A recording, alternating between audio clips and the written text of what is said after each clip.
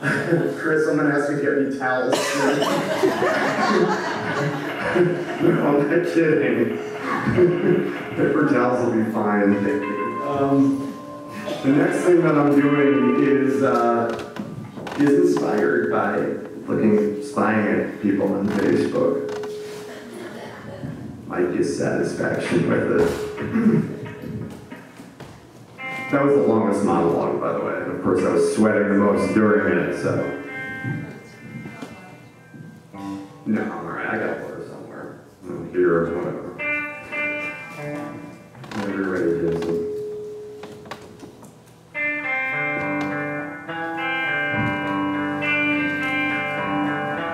So yeah, we like to fuck around on Facebook, Jules and I. You know how it is. We're mostly the same friends, that's how couples are. You've been in a relationship for years. It's hard not to know each other's friends. And I knew everyone that Jules talked to. We have access to each other's accounts so I can check her email and Facebook page and see what she's been up to.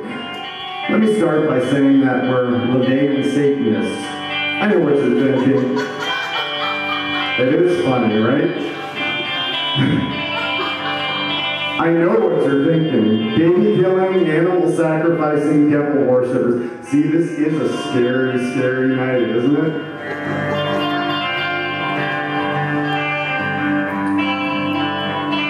But that ain't it at all. See, everyone thinks that's what the LaVeyan Satanists are about. If you take the time to check, you see that it's all about being an individual and giving into your earthly desires. There's some Nietzsche, or whoever that philosopher is, who rejects the other religions, but we don't sit around drawing pentagrams and eating our cat Beelzebub for your information. We just don't believe in all that organized Western religion bullshit. So we feel right at home amongst the LaVeyans. Now we've been married for nearly two years. We've known each other for seven since we were 15. We've had some rough patches, but who doesn't, right?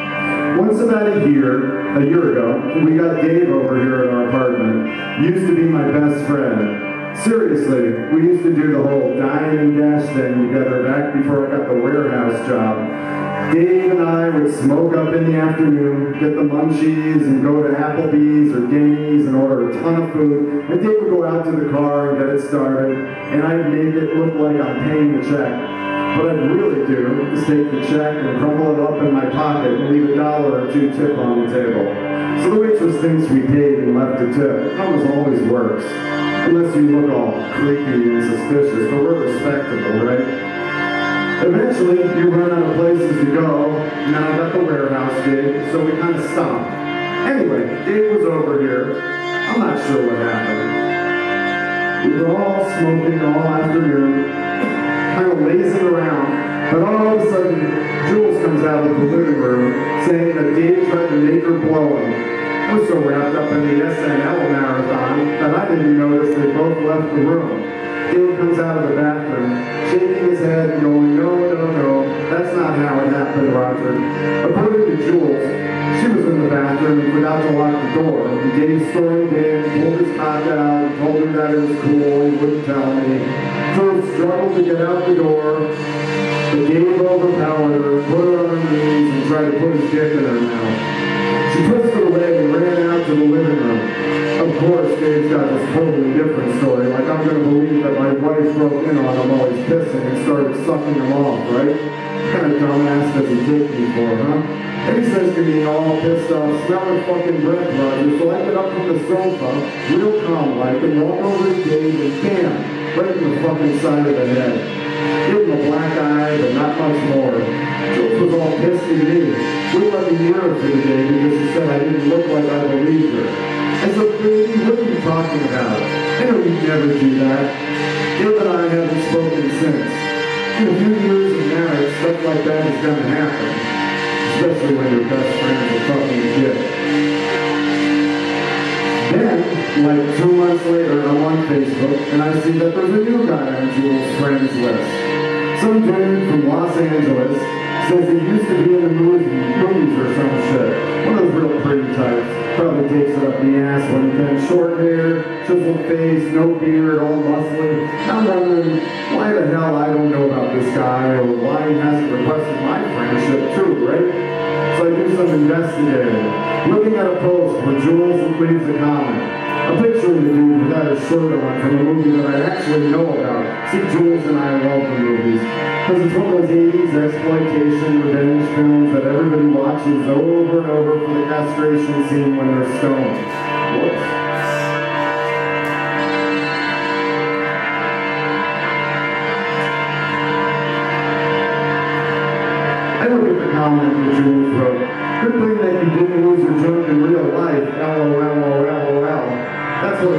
Says. Yeah, I know it's just a post, but I don't know why I've never heard about this guy. And now Jules has such a good relationship with him. I yell to Jules, who's in the other room, come here for a second.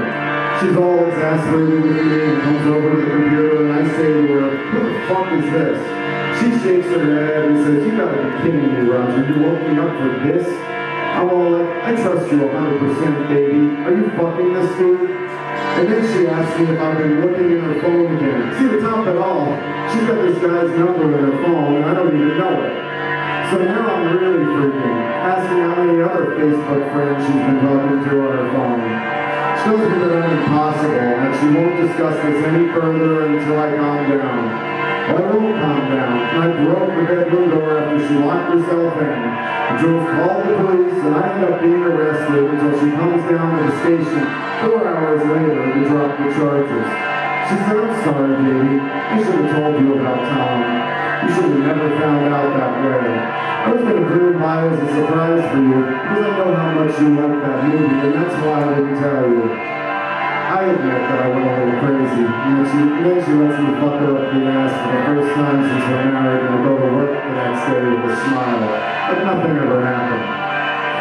So a week goes by, we're getting along like nothing. I get home from work and Jules finishes up dinner and tells me what the dog did and her insane, stupid girlfriend Carol is doing. See, Carol is this insane, coke-snorting slut who goes from bar to bar and screws guys on the counters in the ladies' room. I know this goes well. I don't see Carol a lot, but I did it once right around the time Jules and I got married.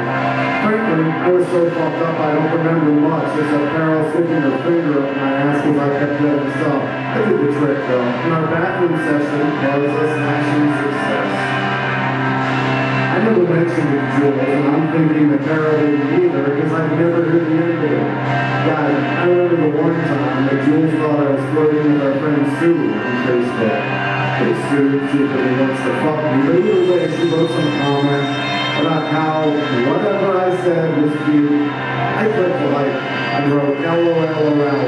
Man, you have thought it was the end of the world. Hours and hours and unfucking words, just tell me. So I'm pretty certain that Jules doesn't know about Carol. I eat dinner, and then I go to check my emails. Look at my Facebook page and pull up Jules' page when she goes into the bathroom for run, and I see that she posts something on the student's wall. The dude that was supposed to come over to surprise me, but that never happened. And now she's posting a picture on this wall. So I pull it up. It's a fucking picture of Jules wearing see-through underwear. I don't trust this bitch, right? So I try to keep my cool. Remember what happened last time, right? And I feel the adrenaline rush. It's worse than that, though. I open the comments, one from him that says, oh, that'll tide me over, baby. Then one from her that says, more on the way, LOL. And he liked it. What the fuck? I mean, what the fuck, right? I feel like I'm getting played here, but I'm trying to keep my cool. I said, baby, can you come over here for a second? She said that she's drying off and she'll be out in a minute. Finally, she comes out and comes over to me and I show her the post. She says, yeah, he told me that he went over to meet us, but he wanted to see a sexy picture of me first. What's the big deal? What's the big deal? What's the big deal? The big deal is that this guy is a fucking scumbag He's taking advantage of his status to, deprive to bribe you into taking your clothes off. She says, oh, grow up. I'm sick of all your bullshit. I told you I'm doing it for you, so you can be one of your idols. Rose used to talk about how much she loved that movie, she says, and I say, Jules, stay away from this scumbag, and she says, or what? And as I'm reeling from the shock of this, the bitch stabs me in the face with a fork. No shit. She punctures my cheek with my grandmother's silverware. I go to the emergency, emergency room, sit there for two hours after a long day at work with a blood-soaked towel against my face and get full stitches. The doctor wants to call the police, but I tell him that it was an accident. Accidents happen, right? Your chain can blow his friend apart on a hunting trip, sure you can let this little domestic thing go, huh? We don't talk for days.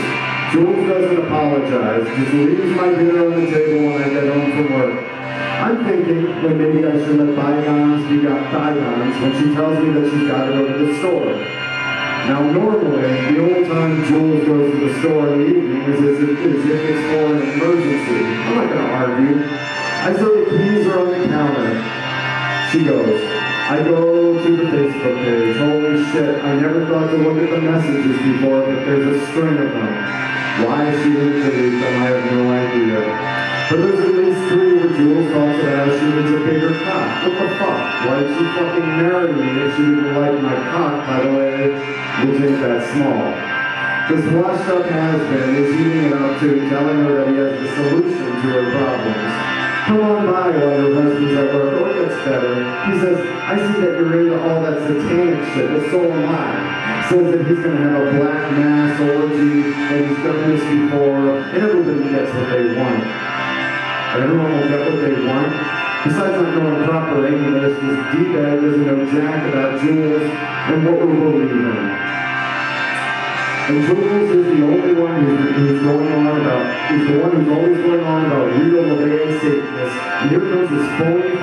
bullshit black mask. And she's all like, fuck me, Mr. Movie Star. I'm freaking out. First I'm thinking that she's been doing this all along.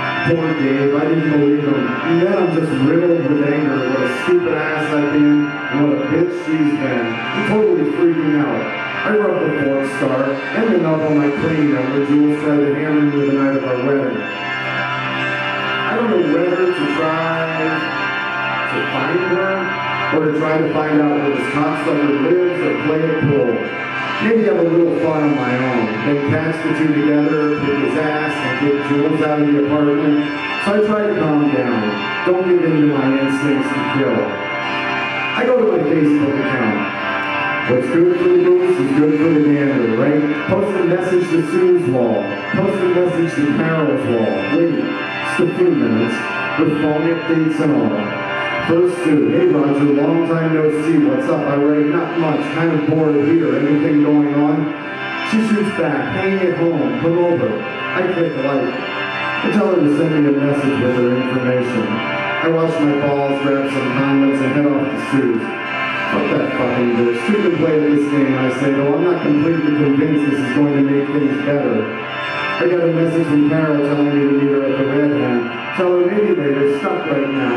I arrive at Sue's, ready to go. She's DTF. She drops to her knees and gives me head and then leads me into the bedroom. We have sweaty, awkward sex. I tell her that what Jules did today, about the has-been actor. She tells me I probably shouldn't say this. I mean, Jules is my friend and all, this is not the first time she's done this, Roger. I feel sick. I feel stupid. But seeing and feeling when you realize that everything is wrong, there's no turning back. It's only begun, going to get worse. And I say, one more thing, sir. Am I small? She laughs. Never a good sign. And Gross Man says, not for me, you're not. I take this as a sort of affirmation that I'm okay. And tell her that I'd like to see her again. She grabs my phone and puts my number in it. I go back home when Jules greets me at the door with a kick in the balls. I gasp for air. I say, go fuck yourself, you. She says, you go fuck yourself, you little prick. I'm leaving. I tell her not to turn this around on me when out in the bedroom comes the douchebag aging actor. He hasn't aged too well. Bags under the eyes, that sunken look that 40-year-olds get who have too little body fat. He says, hey buddy, Jules tells me you're a disciple of Anton. Cool. I'm like, are you fucking kidding me? He says, dude, we can work something out. LaVeyans are all about the appreciation of life, of carnality, of pleasure. You know, share and share alike. I asked him, what the fuck are you gonna share, fuckhead? And I managed the strength to charge at him and knock him to the ground. Joe starts hitting me on the head with my hand-carved wooden goat before I pummel this stick. He pushes me away and gets up and pulls Jules off and he says, this is not quite what I had in mind. Brushes himself off. Says, you guys are a little too junior high for my taste and leaves the house. Jules runs after him, tells him he can't leave her here. He tells her, fuck you, you weren't that great anyway. And I almost like him for a second.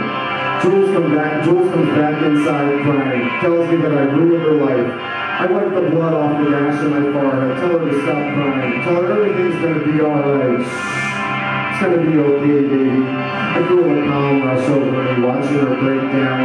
I touch her shoulder sympathetically. I feel at ease with her misery and tell her that I'm gonna make it all better.